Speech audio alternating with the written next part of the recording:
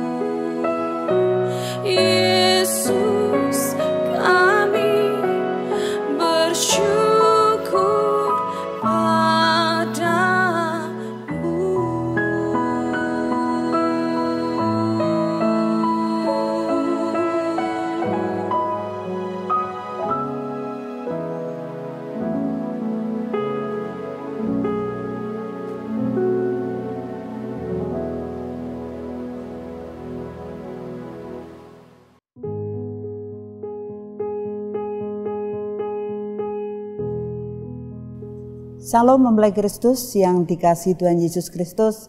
Selamat bertemu kembali di acara kuasanya tak terbatas pada hari ini mempelai Kristus.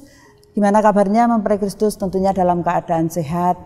Puji Tuhan pada hari ini saya akan menyaksikan cinta kasih Tuhan yang luar biasa atas kehidupan saya dan keluarga saya, atas setiap aktivitas. Sebelumnya saya akan memperkenalkan diri terlebih dahulu bahwa nama saya adalah Ibu Wiwi Pratila. Saya memiliki satu keluarga dengan satu anak, satu suami dan pekerjaan saya adalah sebagai seorang pegawai negeri yaitu sebagai seorang guru. Saya bekerja di SMP Negeri 9 dan untuk itu mempelai Kristus, sebelumnya saya akan menceritakan tentang cerita pribadi tentang saya. Sejak kecil, sejak SMP memang saya sudah melayani Tuhan. Waktu itu masih ada di gereja yang lama. Saya sudah begitu mencintai dan keinginan melayani Tuhan itu luar biasa. Jadi saya masuk melayani Tuhan itu waktu itu saya masuk bidang sekolah minggu Sekolah minggu saya mengikuti pelayanan itu dan pada waktu itu dari gereja yang dulu itu saya melayani sekolah minggu ada di desa-desa. Bahkan dari Nanggulan sampai Kali Bening, Nanggulan sampai ke Sukoharjo, saya harus jalan kaki untuk mengajar sekolah minggu. Tetapi dengan rasa senang, waktu itu saya merasakan pelayanan itu menyenangkan sekali. Saya merasakan pelayanan itu mengembirakan sekali. Dan selanjutnya sampai saya lulus kuliah, akhirnya saya ditempatkan di suatu kota yang di luar Salatiga dan saya mengajar di sana. Di sana pun saya tetap mengajar sekolah minggu. Dan akhirnya setelah saya menikah tahun 90 saya pindah ke Salatiga lagi dan saya mengajar di sekolahan Kristen lagi, tetapi sekolahan Kristen itu akhirnya bubar dan dari Dignas saya ditarik untuk mengajar di sekolah negeri. Mempelai Kristus waktu itu tahun 1999 akhirnya saya pindah gereja di tempat ini. Di sinilah saya merasakan hal yang baru, sesuatu yang luar biasa. Dahulu saya sering melayani tetapi saya belum begitu banyak mengerti. Akhirnya saya masuk di gereja ini tahun 1999, masuklah dalam SOM. Di situ ada SOM pekerja waktu itu dan ada juga SOM umum. Dan waktu itu saya mengikuti dua SOM tersebut Akhirnya saya juga mengikuti ujian. Pada waktu itu Gembala Sidang mengadakan ujian homilitik dan ada satu reward yang luar biasa waktu itu yang saya peroleh yaitu ada satu kalimat dari Bapak Gembala Sidang mengatakan bahwa setelah saya selesai mengatakan bahwa itu mutiara terpendam. Itu sesuatu yang saya pegang terus. Berarti yang semula saya itu adalah seorang pendiam, tidak banyak bicara, tidak banyak omong Akhirnya ada sesuatu penyemangat dari gembala sidang yang saya peroleh waktu itu. Akhirnya waktu itu saya masuk di tim misi. Tim misi mempelai Kristus satu-satunya tim misi seorang perempuan adalah saya waktu itu tahun 2000-an. Saya masuk tim misi dengan Pak Jerry dan akhirnya di situ saya dididik, dibimbing. Saya diajak pelayanan ke desa-desa, saya diajak pelayanan ke daerah-daerah. Di situlah saya mulai mencintai, semakin mencintai pelayanan di desa-desa. Dan saya semakin mengerti bahwa keberadaan kita di dunia ini, bahwa kita ada di dunia ini. Seperti di dalam Efesus 2 ayat 10 bahwa kita adalah buatan Allah yang diciptakan Tuhan untuk mempersiapkan pekerjaan baik itu sudah dipersiapkan Tuhan. Untuk itu saya semakin hari semakin mencintai pelayanan di desa-desa. Dan mulai Kristus Sampai sekarang Tuhan izinkan saya untuk dapat melayani di desa-desa. Dalam dunia pendidikan di mana saat ini saya bekerja, di situ mempelai Kristus, saya belajar untuk juga melayani karena anak-anak Kristen juga banyak. Anak-anak Tuhan yang ada di pendidikan itu juga banyak. Setiap tahun tentunya berubah, antara lain sekitar 70, 80, 90 itu setiap tahunnya. Pada waktu saya masuk pertama di tempat di mana saya mengajar, anak-anak Kristen sama sekali belum ada kegiatan. Sama sekali anak-anak Kristen kelihatan haus dan lapar akan Tuhan. Dan di situlah saya mulai membuka, membuka persekutuan doa. Itu ada tahun 2000-an. Belajar membuka meskipun banyak tantangan. Banyak tantangan, banyak sekali yang tidak setuju dengan semua itu. Tetapi dengan kita berdoa, dan kita tetap teguh, kita tetap kuat, kita tidak patah semangat. Karena tatkala kita mulai undur dengan tantangan, maka yang menantang kita ataupun yang membentengi kita ataupun yang menghalangi kita itu akan semakin maju. Tetapi kita semakin kuat, kita semakin tangguh dan kita betul-betul kuat di dalam iman kita, maka mereka semakin hari semakin mundur. Itulah mempelai Kristus. Jadi kita dibutuhkan suatu kekuatan iman yang luar biasa. Mulailah berjalan. Guru yang ada adalah guru GTT dengan tempat yang jauh. Kadang-kadang anak-anak tidak diajar, kadang-kadang gurunya tidak masuk. Di situlah saya mengajar dua bidang studi, kadang-kadang dengan jam yang sama. Jadi saya mengajar agama, saya mengajar bahasa Inggris. Nah, mulai Kristus ini adalah pelayanan yang kita hadapi di dunia yang semula saya bekerja di sekolahan Kristen, yang semula saya bekerja hanya bertemu dengan anak-anak Tuhan, akhirnya Tuhan izinkan saya bekerja dengan banyak orang yang berbeda. Nah, di sinilah kita dituntut kekuatan yang luar biasa, perjuangan yang luar biasa. Akhirnya sampai sekarang ada persekutuan doa yang anak-anak antusias sekali, anak-anak begitu bergembira untuk menerima pelayanan persekutuan doa ini sampai sekarang. Mempelai Kristus yang dikasih Tuhan Yesus Kristus, dunia pelayanan itu bukan hanya di dalam dunia gereja. Tentunya kita tahu tentang itu. Dunia pelayanan itu juga di masyarakat. Saya pun pernah menjadi ketua PKK Ibu RT itu kira-kira 15 tahun. Dua periode selesai, kita istirahat, terpilih lagi. Dua periode selesai, kita istirahat, terpilih lagi. Akhirnya saya hitungkan itu ada 15 tahun. Saya menjadi yang dituakan di RT itu. Dan di situ saya banyak belajar. Banyak hal yang saya pelajari.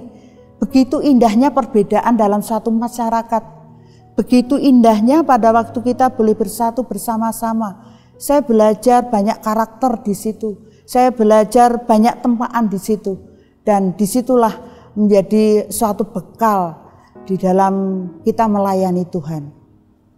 Dan akhirnya setelah tim misi dari Pak Jerry itu kelihatannya tidak ada lagi. Akhirnya dari Bapak Gembala Sidang, saya masuk di dalam Korwil saya masuk di dalam korcam tingkir dan akhirnya maksudlah saya untuk melayani di luar kota. Di luar kota itu pada waktu itu saya diberikan daftar. Daftar banyak sekali orang-orang luar kota dari gereja kita ini. Banyak sekali ada orang-orang yang di, ada di Karanggede, ada orang-orang yang ada di Simo, ada orang-orang yang ada di Boyolali, di Tengaran, ada di Ampel. Akhirnya saya mencoba mencari. Kasihan kalau orang-orang itu tidak tergembalakan. Itu pikiran saya pada waktu itu. Saya dengan suami bersama-sama untuk mencari orang tersebut di Karanggede. Di situ ada 11 orang di Karanggede dan saya mencari setelah saya ketemukan satu saya menanyakan apakah dari kelompok anak-anak Tuhan yang ada di Karanggede ini sudah terlayani. Akhirnya mereka mengatakan bahwa mereka sudah terlayani dari gereja yang ada di dekat di situ. Saya bersyukur sekali karena apa? Karena begitu jauhnya kalau jemaat ini harus bergereja di gereja Betani. Akhirnya sudah tergembalakan ada di gereja sana. Akhirnya saya mencari lagi yang ada di Boyolali. Dan ketemu satu dua yang ada di Ampel ketemu satu dua. Akhirnya saya gabungkan satu yang ada di Tengaran. Waktu itu kita visitasi di Tengaran saya menemukan waktu itu sudah lama sekali tidak terlayani. Akhirnya saya menemukan beberapa orang, ada enam orang. Kita melakukan visitasi dari rumah ke rumah, dari rumah ke rumah kita melakukan visitasi. Kita ajak lagi bergabung, kita ajak lagi untuk beribadah, kita ajak lagi banyak tantangan, banyak pengorbanan yang harus kita lakukan. Jadi mempelai Kristus yang dikasih Tuhan, di dalam kita melayani Tuhan, banyak hal yang harus kita lakukan. Yang pertama yaitu kita harus punya hati, punya kasih buat mereka. Tidak ada motivasi yang lain. Motivasi kita adalah kasih kepada orang itu dan kasih kepada Tuhan. Itu satu motivasi kita. Dan yang kedua pada waktu kita mau melayani di daerah-daerah, di pelosok-pelosok yaitu kita mau berkorban waktu, kita mau berkorban tenaga, kita mau berkorban materi, kita mau berkorban segala hal. Dan kita harus taat akan Tuhan. Karena fokus kita di dalam pelayanan adalah Tuhan. Fokus kita adalah Tuhan, motivasi kita adalah hanya untuk kemuliaan Tuhan. Nah, di saat kita memiliki itu, pasti kita akan taat dan setia pada Tuhan. Nah, pada waktu kita masuk di dalam wilayah Tengaran, kita masuk dalam wilayah Tengaran, di situ apakah sudah menemukan banyak jemaat belum? Jemaat yang kita temukan pada waktu itu tidak lebih dari 15. Tetapi dengan sebuah kesetiaan, dengan kekuatan yang dari Tuhan, dengan suatu hati yang mau mengasihi, akhirnya kita kumpulkan. Kita kumpulkan, kita buat satu FA kembali. Dan akhirnya dari jemaat itu terkumpul lama-kelamaan terkumpul lagi, terkumpul lagi. Mempelai Kristus yang dikasih Tuhan Yesus Kristus, dari beberapa orang yang ada itu, kita setia, kita ajak mereka setia. Kita ajak mereka untuk benar-benar mencintai Tuhan, benar-benar mencari Tuhan. Tahun 2000, sebetulnya saya sudah diajak Pak Jerry untuk masuk di daerah Tengaran itu. Waktu itu saya masih ingat, waktu itu saya masih hamil muda saya masih diajak Pak Jerry untuk keliling di daerah Tengaran itu. Setelah saya melahirkan, saya vakum, tahun 2008-2009 saya masuk lagi pelayanan di sana sampai sekarang. Jadi mempelai Kristus yang dikasih Tuhan Yesus. Pada waktu itu ibadah dari rumah ke rumah. Kita dari rumah ke rumah satunya ke rumah satunya. Suatu saat ada seseorang yang Tuhan kirimkan. Kita sudah berdoa lama, kita merindukan satu rumah. Hanya satu rumah sehingga pada waktu kita ibadah, kita tidak keliling lagi, kita tidak berputar-putar lagi dan kita merindukan kita ibadah itu tidak ditikar. Kadang-kadang di daerah sana itu dinginnya luar biasa. Pada waktu kita beribadah di tikar, kita merasakan dingin yang luar biasa. Juga kita kadang-kadang merasakan karena kaki-kaki ini capek untuk duduk di bawah. Dan kita berdoa bersama-sama, kita memohon kepada Tuhan, kita meminta kepada Tuhan, kita mempunyai tempat khusus sehingga kita tidak berpindah-pindah di dalam kita beribadah. Pada suatu saat Tuhan kirimkan seseorang yang mungkin di daerah sana beranggapan itu orang yang diberkati Tuhan luar biasa. Di Tengaran, di kecamatan Tengaran itu sangat terkenal sekali bahwa Beliau adalah orang yang diberkati Tuhan luar biasa dan beliau adalah anak Tuhan. Dan dari situlah beliau mendengar suatu puji-pujian yang kita nyanyikan. Pada waktu itu sekali dua kali akhirnya beliau ikut beribadah dan mempelai Kristus. Beliau digerakkan oleh Tuhan untuk memberikan satu rumah barunya yaitu joglo untuk diberikan kepada kita untuk kita boleh beribadah di sana. Kita beribadah di sana mempelai Kristus. Belum ada kursi, akhirnya Tuhan berikan berkat yang luar biasa. Tuhan kirimkan kursi. Kita belum punya peralatan musik yang ada. Tuhan kirimkan peralatan musik dan Tuhan kirimkan LCD, Tuhan kirimkan laptop, semuanya diperlengkapi oleh Tuhan. Luar biasa. Allah kita itu Allah yang tidak tinggal diam. Dia akan melihat kesetiaan kita. Tuhan akan melihat ketaatan kita. Tuhan akan melihat motivasi kita di saat kita mau benar-benar melayani Tuhan. Jadi saat itu bersama-sama dengan jemaat yang ada, kita menyemangati satu dengan yang lain. Kita semangati satu dengan yang lain. Ayo terus maju, ayo terus kita saling mendoakan. Apa yang kita rindukan, kita percaya bahwa suatu saat pasti Tuhan akan genapi setiap kerinduan kita. Dari jemaat yang semula tidak ada 10 orang, tambah 15, tambah lagi 30 dan sampai akhirnya sampai yang kemarin jemaat sudah melimpah menjadi 60 jemaat. Dari setiap puji-pujian diperdengarkan, dari pekerja pabrik di situ kan banyak pekerja pabrik karena di situ adalah lingkungan pabrik. Pekerja pabrik itu ternyata mempelai Kristus banyak sekali anak-anak Tuhan yang belum bergereja karena mereka dari kota-kota lain yang tidak tahu gereja mana saya harus bergereja, ke mana saya harus beribadah. Akhirnya mereka dari mulut ke mulut, dari kesaksian demi kesaksian, mereka beribadah bersama-sama di tempat kita. Jadi mempelai Kristus yang dikasih Tuhan. Jangan patah semangat. Tatkala banyak hal yang terjadi dalam hidup ini. Di dalam pelayanan itu tidak berjalan dengan mulus.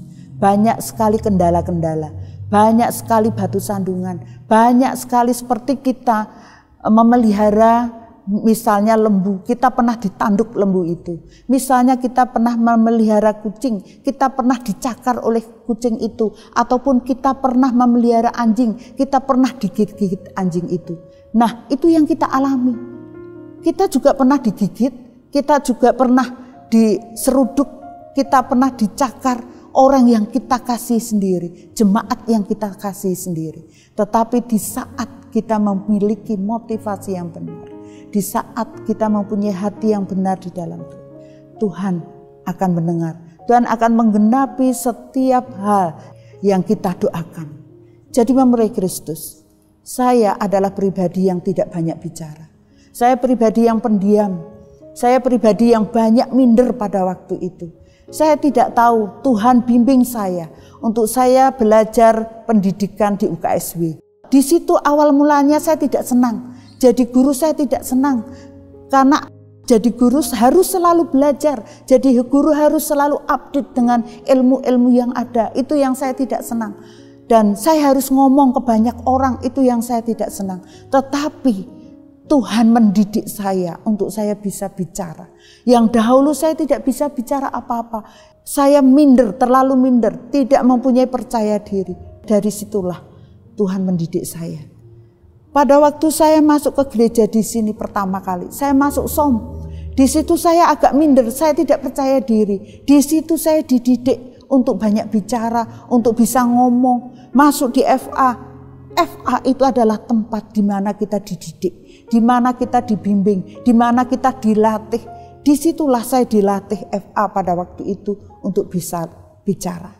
Jadi mempelai Kristus kadang-kadang sesuatu yang terjadi sesuatu yang ada itu adalah pendidikan Tuhan yang kita tidak tahu bahwa itu pendidikan Tuhan. Kadang-kadang kita merasakan tidak enak, kadang-kadang kita merasakan tidak nyaman. Tetapi mempelai Kristus, didikan Tuhan memproses kita menjadi sesuatu yang indah. Kita bayangkan aja vas bunga. Vas bunga itu kalau bisa menjerit pada waktu di amplas dan sebagainya. Itu merasakan bahwa itu berat, susah. Tetapi akhirnya vas bunga itu menjadi vas yang begitu indah. Jadi mempelai Kristus yang dikasih Tuhan. Terus maju tatkala banyak halangan, banyak tantangan, banyak hal yang tidak menyenangkan, banyak hal yang kadang-kadang membuat kita down, banyak hal yang membuat kita lemah. Ingat bahwa ada Tuhan di samping kita. Jadi pada waktu doa-doa kita banyak dijawab oleh Tuhan. Tetapi banyak hal yang harus tetap kita perjuangkan. Kita bersama-sama dengan jemaat di Tengaran itu, kita masih mempunyai mimpi. Mimpi di daerah sana itu menjadi kebangkitan rohani yang luar biasa. Karena tempat di mana kita beribadah, tempatnya itu agak tinggi. Pada waktu lantunan lagu-lagu rohani dinyanyikan, banyak terdengar di bawahnya dan di situ banyak anak-anak Tuhan yang tertidur. Banyak anak-anak Tuhan yang betul-betul meninggalkan Tuhan. Puluhan tahun tidak bergereja. Dan pada waktu itu, pada waktu sebelum kita beribadah pertama, saya mendatangi tetangga kanan kiri, depan belakang, bahkan saya mendatangi Bapak RT, RW, sampai diizinkan semuanya mengizinkan kita beribadah. Dan banyak yang bercerita bahwa di sinilah tempat di mana anak-anak Tuhan banyak yang tertidur. Dan mempelai Kristus, puji Tuhan, izin itu sekarang sudah sampai ke kelurahan. Kita berharap bahwa izin nanti kelak sampai ke kecamatan. Akhirnya mempelai Kristus yang dikasih Tuhan Yesus Kristus. Pelayanan itu adalah wajib dilakukan anak-anak Tuhan di mana Tuhan tempatkan kita, di situlah pelayanan. Hidup harus melayani Tuhan.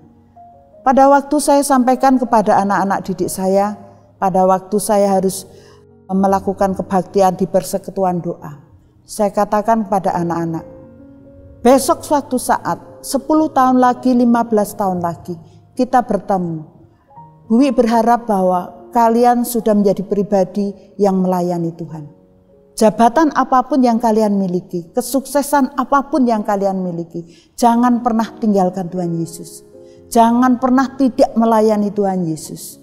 Jangan pernah sama sekali tukarkan Tuhan dengan dunia yang fana. Jadi tetap melayani Tuhan. Jangan lupa baca firman, jangan lupa berdoa. Ini mempelai Kristus yang dikasih Tuhan Yesus Kristus. Jadi mempelai Kristus yang dikasih Tuhan, mari terus maju di dalam Tuhan. Hidup ini adalah sebuah kesempatan. Kita tidak tahu umur kita ke depan. Kita tidak tahu apa yang ada dalam kehidupan kita. Pada waktu kita ada dalam dunia ini, mari kita buat kehidupan kita menjadi kehidupan yang berarti untuk Tuhan, menjadi kehidupan yang berarti untuk sesama. Pada waktu kita ditempatkan di masyarakat, Pernahkah kita melakukan sesuatu? Pernahkah kita melakukan sesuatu untuk masyarakat tersebut? Ini yang menjadi catatan buat saya dan suami saya. Kita ditempatkan di desa ini. Kita harus menjadi berkat di desa ini. Jadi mempelai Kristus yang dikasih Tuhan. Satu hal yang membuat kita senantiasa bersyukur. Saya dan keluarga bersyukur. Banyak hal yang ada dalam keluarga kami. Tetapi satu hal yang menjadi catatan, jangan membandingkan berkat yang ada dalam kehidupan kami, saya dan suami dan anak, dengan berkat yang ada pada orang lain. Tuhan boleh memberkati orang lain dengan banyak hal. Cukup sudah dengan berkat yang ada. Betapa kami menikmati rasa syukur yang luar biasa. Tatkala kita menikmati berkat yang ada, Anak yang ada kita bersyukur dengan apa yang ada. Rezeki yang ada kita bersyukur dengan rezeki yang ada. Saya bekerja mempelai Kristus. Dari pekerjaan ini menjadi sarana saya untuk melayani. Jadi di dalam melayani ini kita harus mau berkorban. Baik itu berkorban materi, baik itu berkorban waktu, baik itu berkorban tenaga, berkorban apa pun, berkorban perasaan, berkorban pikiran itu yang ada dalam pikiran kami. Dengan rasa senang kita bersama-sama melayani Tuhan. Jadi mempelai Kristus yang dikasih Tuhan. Dalam satu firman Tuhan yang ada di Efesus 2 mempelai Kristus. Efesus 2 ayat yang ke-10 ini yang menjadi kekuatan dalam kehidupan kami. Demikian firman Tuhan. Karena kita ini buatan Allah, diciptakan dalam Kristus Yesus untuk melakukan pekerjaan baik yang dipersiapkan Allah sebelumnya. Ia mau supaya kita hidup di dalamnya. Ini menjadi kekuatan kami mempelai Kristus di saat kami maju untuk melayani Tuhan. Di mana pun Tuhan utus, Tuhan utus kami di mana? Tuhan utus kami di Boyolali, di Ngampel, di Telatar, di mana pun juga. Bahkan pada waktu kita visitasi, visitasi ke mana ke daerah pelosok-pelosok itu mempelai Kristus karena di Tengaran jemaatnya itu ada di pelosok ada di gunung di mana mobil harus kita parkir dan kita harus jalan kaki karena rumah dari jemaat Betani itu ada di tengah-tengah ladang yang tidak bisa dijangkau dengan mobil, tidak bisa dijangkau dengan motor. Kita bertiga dengan anak dan suami, kita berjalan turun terus. Kekuatan kami adalah kita buatan Allah, sehingga kita adalah manusia kuat dan tangguh yang sudah dipersiapkan Tuhan untuk melakukan pekerjaan baik. Pekerjaan baik Tuhan itu sudah ditetapkan dalam kehidupan kami. Pekerjaan Tuhan itu sudah ditetapkan dalam pekerjaan kita mempelai Kristus. Untuk itu Tuhan itu nyatakan hidup di dalam kita. Tetap bersuka cita di dalam Tuhan Melayani itu senang, melayani itu bahagia, melayani itu luar biasa di dalam Tuhan. Satu motivasi yang benar hanya untuk kemuliaan Tuhan. Mengasihi sesama itu harus ada dalam hidup ini. Sehingga tatkala kita tersakiti, itu sudah tidak terasakan lagi karena motivasi kita melayani. Ini mempelai Kristus yang dikasih Tuhan. Tuhan Allah kita luar biasa. Tuhan bekerja dalam keluarga kita dengan segala keminiman yang ada, dengan segala kemampuan kami yang ada, kemampuan kami yang kami miliki. Kita tidak mempunyai kemampuan yang luar biasa, tidak. Kita hanya memiliki hati untuk Tuhan. Tuhanlah yang mencukupkan segala sesuatunya. Tuhanlah yang melengkapi segala sesuatunya. Tuhanlah yang memberikan segala sesuatunya. Karena kami tidak memiliki apa-apa. Kami tidak memiliki yang luar biasa, tapi hanya Tuhan yang kami miliki dalam hidup ini. Ini mempelai Kristus yang terkasih dalam Tuhan. Kuasa Tuhan luar biasa. Tatkala kita mencari Tuhan secara betul, dari orang yang tidak bisa bicara sama sekali, dari orang yang tidak mampu untuk melakukan apa pun, Tuhan mampukan. Dan tentunya semuanya untuk kemuliaan Tuhan. Mempelai Kristus yang dikasih Tuhan. Inilah kesaksian dari saya secara pribadi dan keluarga saya yang saat ini dalam acara kuasa Tuhan tidak terbatas. Semoga apa yang saya sampaikan ini boleh menjadi bekal dari mempelai Kristus semuanya bahwa mari bersama-sama melayani Tuhan. Karena hidup adalah sebuah kesempatan. Kita tidak punya kesempatan hari ini berbeda dengan besok. Hari ini berbeda dengan kemarin. Jadi hari ini kita harus tetap melayani. Besok kita pun harus tetap melayani sampai pada akhirnya Tuhan memanggil kita. Amin. Dan Yesus memberkati. Shalom, mempelai Kristus, jemaat Tuhan yang dikasih oleh Tuhan. Sungguh satu hal yang luar biasa kita bisa mendengarkan satu kesaksian kali ini dari seorang hamba Tuhan, seorang ibu, seorang wanita yang saya suka sekali karena memiliki semangat untuk berjuang melayani Tuhan dan melayani jemaat atau sesama. Saudara, Ibu Wiwi Pratilah adalah seorang hamba Tuhan dari gereja kita. Ya, beliau seorang pendeta pembantu yang saya nilai memiliki satu semangat, satu hati yang betul-betul mengasihi Tuhan dan juga mengasihi jiwa-jiwa kita sudah dengar bagaimana sejak dari masa remajanya, masa mudanya dia pakai untuk melayani Tuhan. Bukan di tempat-tempat yang enak tentu, tapi juga di tempat-tempat yang tidak enak. Di desa-desa harus melakukan perjalanan dan harus banyak pengorbanan-pengorbanan yang dilakukan. Dan saya bersyukur semangat untuk memberitakan Injil ini tidak pernah surut sekalipun setelah menikah, punya anak, punya rumah tangga, saudara. Tapi semangat itu terus membara dalam hatinya.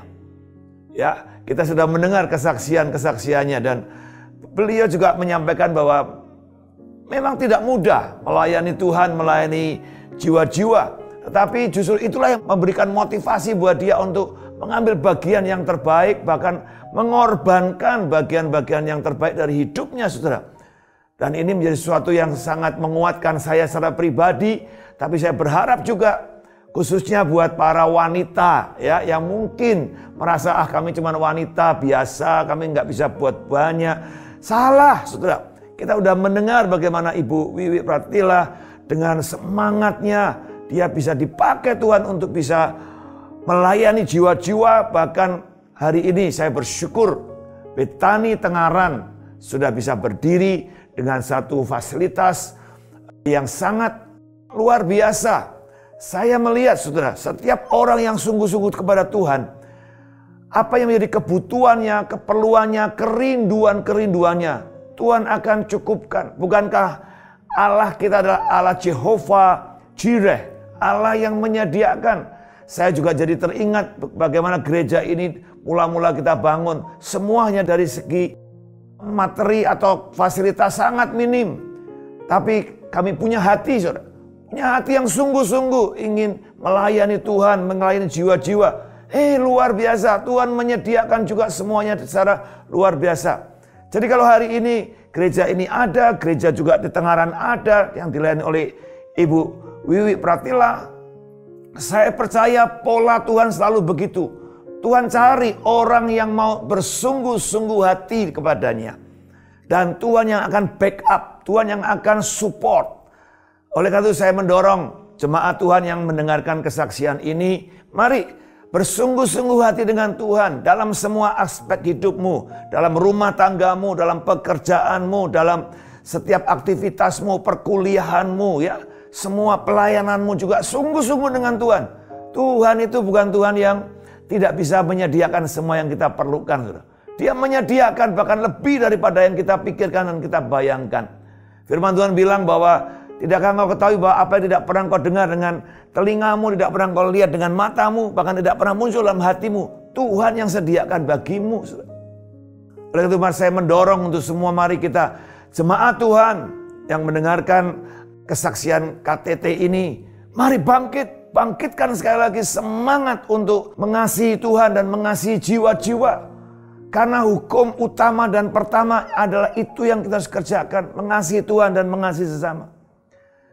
Dan saya bersyukur sekali mendengarkan kesaksian Ibu Wiwi. Dan saya berdoa Ibu Wiwi dan seluruh keluarganya terus dipakai. Bahkan jemaat di Tengaran terus dipakai. Lebih lagi untuk membawa kabar baik dan membawa kemuliaan Tuhan di mana pun kita berada. Saya tutup dengan satu ayat firman Tuhan, 1 Korintus 15, 58, saudara. Ini ayat sangat luar biasa sekali. Dikatakan demikian, karena itu saudara-saudaraku yang kekasih, berdirilah teguh, jangan goyah, dan giatlah selalu dalam pekerjaan Tuhan.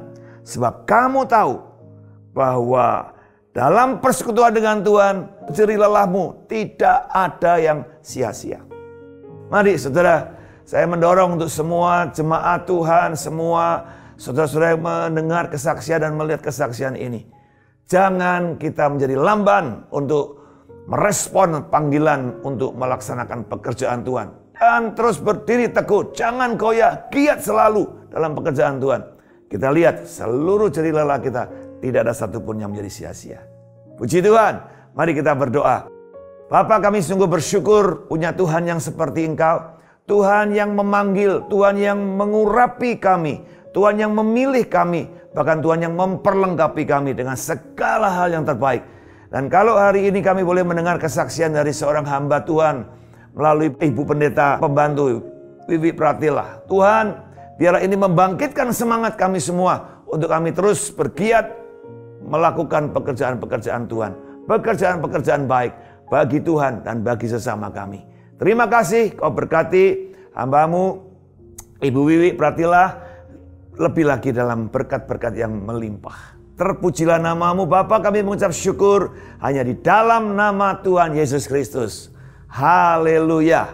Amin. Tuhan memberkati.